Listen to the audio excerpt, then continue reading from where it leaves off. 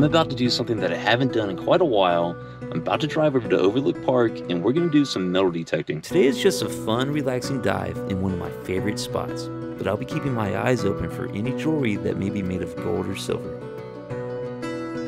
I'll be making the trek from my home base in Austin, Texas, south across the Devil's Backbone, all the way to Canyon Lake near New Braunfels.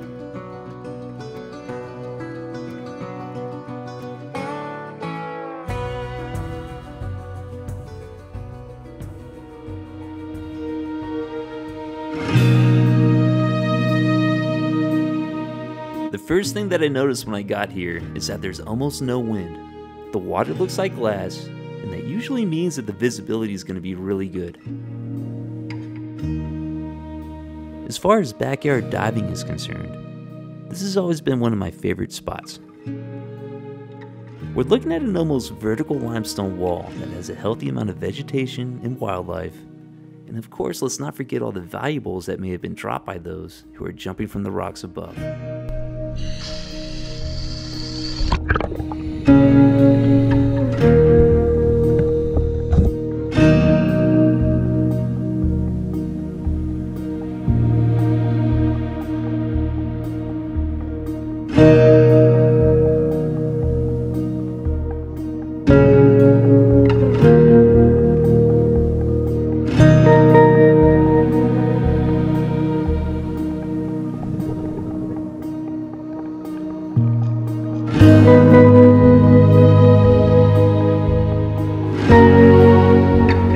This is obviously trash, but where you're finding trash, you're also going to find exactly what we're looking for. We're going to follow along underneath this limestone ledge where everybody hangs out at on the surface. We're going to focus on these rock outcroppings that almost form a natural diving board. Everything that's dropped should sit on these limestone cracks below. Anything from Apple Watches, wedding bands, jewelry, even chains.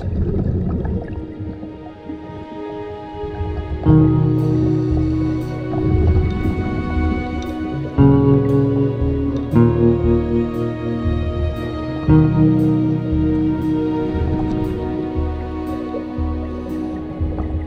bottle caps may be frustrating, but it means you're on the right track. It definitely means that you're in a spot where people are dropping stuff.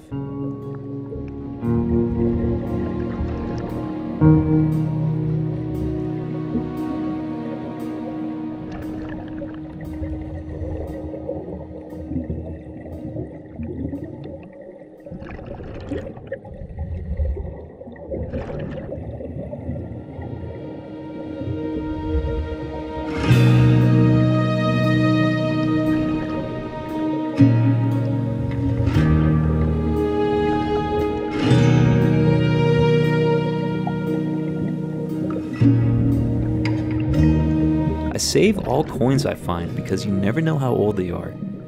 Some of them can be made of 90% silver.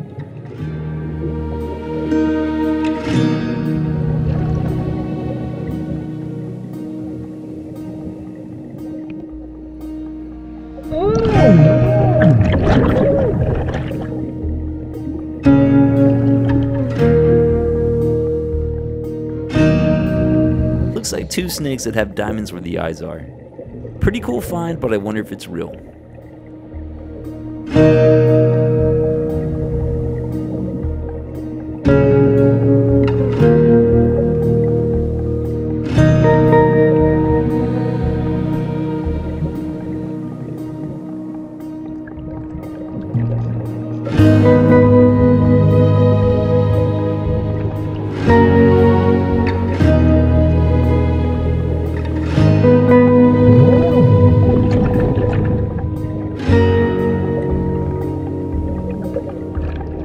Thank mm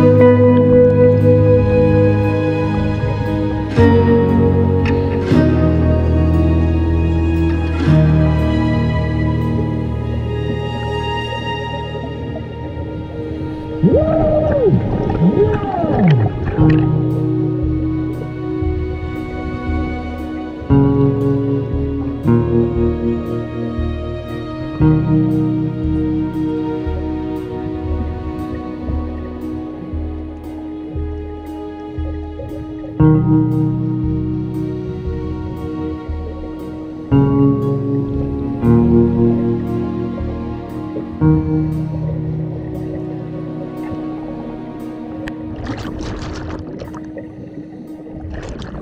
running low on air, so it's about time to wrap up this dive.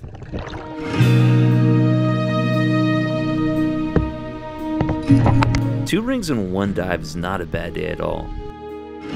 Now I need to take all my heavy dive gear back up this really steep hillside and make that long walk back to the parking lot.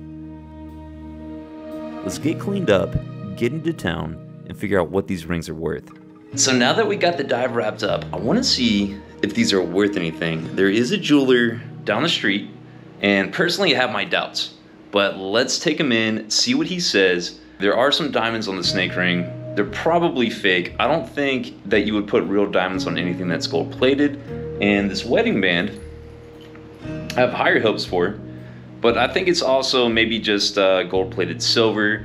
Now, unfortunately, they don't allow cameras inside of this store, so I can't take you with me. But we're pulling up right now, so wish me luck.